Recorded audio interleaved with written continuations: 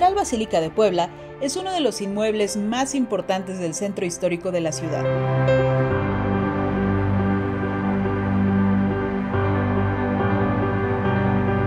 Su construcción inició en el año de 1575.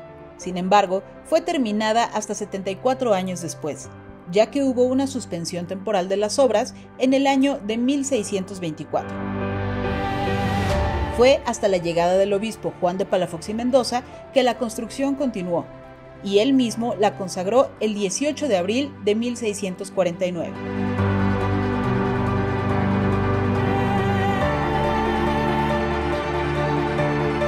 Es considerada uno de los sitios exponentes del arte novohispano y cuenta con 14 capillas dentro de sus instalaciones.